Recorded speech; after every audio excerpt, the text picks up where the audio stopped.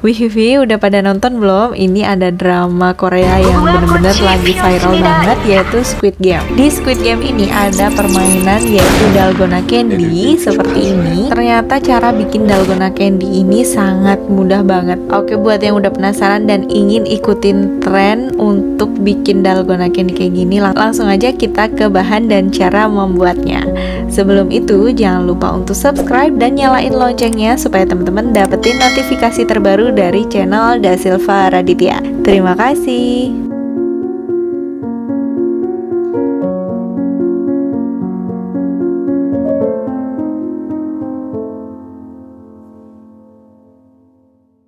Yang pertama di sini saya gunakan cetakan aja seperti ini. Kalau misalkan nggak ada cetakan nggak apa-apa nggak masalah.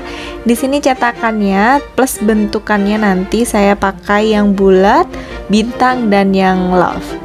Di sini untuk cetakannya kita olesin dulu dengan minyak supaya nanti lebih mudah untuk melepasnya dan dia nggak lengket ke bagian cetakannya. Bagian bawah cetakan ini saya olesin dengan minyak juga supaya nanti ketika dibuat untuk menekan dia nggak lengket. Selanjutnya di sini kita siapin fry pan. Di sini saya akan menggunakan 4 sendok makan gula pasir. Kalau misalkan teman-teman mau bikin satu aja bisa gunakan 2 sendok makan. Di sini langsung aja saya gunakan 4 sendok makan setelah itu kita nyalain api yang paling kecil supaya nanti kalau gulanya udah meleleh dia itu nggak pahit gitu nah, melelehnya itu sedikit demi sedikit kita biarin sampai dia meleleh semuanya ya By the way beneran udah pada nonton belum sih untuk Squid Game ini? Seru banget ya ternyata untuk dramanya itu. Jadi mereka itu pada mau dapetin uang sebanyak 465 won kalau nggak salah. Dan kalau misalnya kalah itu dieliminasi dan eliminasinya itu ditembak mati gitu. Jadi agak serem-serem gimana gitu filmnya. Oke balik lagi ya. Kita akan bikin dalgona candy. Jadi kalau udah berkaramel seperti ini Udah meleleh semuanya Tinggal langsung kita masukkan 2 jumput soda kue. Jadi ini dikit aja kita ambil 2 jumput. Kalau misalkan pakai 2 sendok makan pakai satu jumput aja. Jadi cuman dikit aja Nanti kalau udah dikasih soda kue dia mulai mengembang dan warnanya seperti coklat muda seperti ini. Kita aduk terus nih, cepet, kita aduk cepet. Langsung kita angkat aja kalau udah seperti ini, nggak usah terlalu lama dimasaknya. Kemudian langsung kita taruh di cetakan. Atau misalkan nggak ada cetakan, taruh aja di baking paper, kemudian baking papernya diolesin dengan minyak supaya nanti nggak menempel gitu di bagian bawahnya.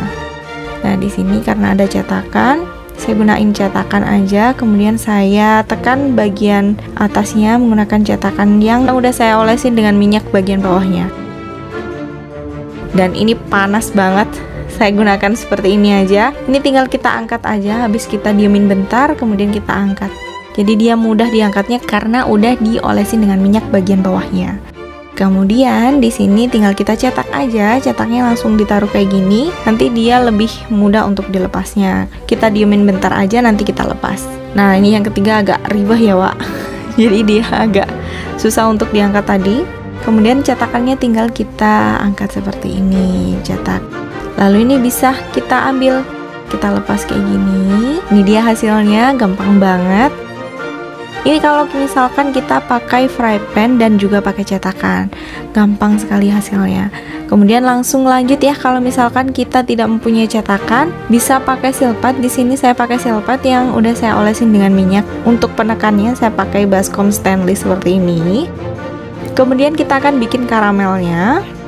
Nah, di sini saya gunakan satu sendok makan munjung ya, agak munjung nanti dia hasilnya jadi satu gitu. Satu sendok makan munjung kita panasin di api yang sangat kecil supaya nanti jadinya nggak gosong ya jadinya nggak pahit untuk karamel gulanya kemudian kalau udah meleleh seperti ini tinggal kita kasih sedikit aja baking soda kemudian kita aduk dengan cepat seperti ini kita masak kita taruh di atas api yang paling kecil kemudian kita aduk terus sampai dia mulai mengembang kalau udah mulai mengembang seperti ini ini udah bisa langsung kita taruh di atas silpat yang udah kita kasih minyak tadi.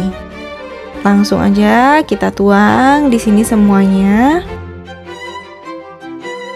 Kalau udah, langsung kita tekan dengan baskom yang bagian bawahnya udah kita olesin dengan minyak. Tada, udah jadi seperti ini. Kalau udah langsung kita cetak.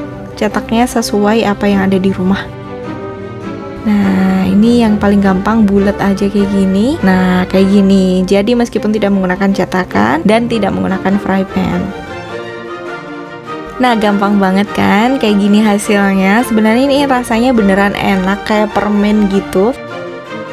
Kalau misalkan perlu banget terlalu banyak minyak yang diolesin, teman-teman bisa lap dulu untuk candinya ini, dalgona candinya ini bisa dilap dengan tisu supaya bagian minyaknya itu nggak banyak. Sebenarnya dia mengkilat itu karena memang dia kan gula ya, pastinya dia mengkilat seperti ini. Nah, ini juga tergantung daerah teman-teman. Kalau misalkan ini teman-teman bikinnya pas lagi panas-panasnya hawa di rumah, pasti ini gampang banget meleleh. Tapi misalkan ditaruh di kulkas dulu juga boleh, lebih kokoh gitu. Oke, kita akan ikutin Squid Game-nya. Kita akan kupas seperti ini. Wih, ini langsung berhasil loh. Ini beneran berhasil karena emang nyetakinnya agak ke dalam. Jadi nggak ribet, langsung potek.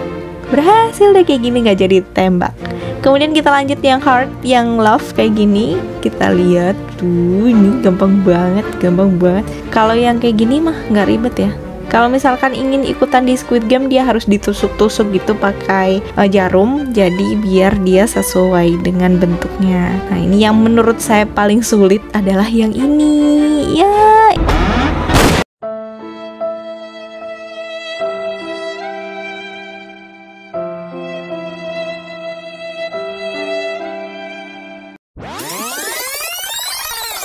ini potekan pertama aja udah nggak berhasil Oke gimana? Ternyata bikin dalgona candy ala Squid Game gampang banget kan?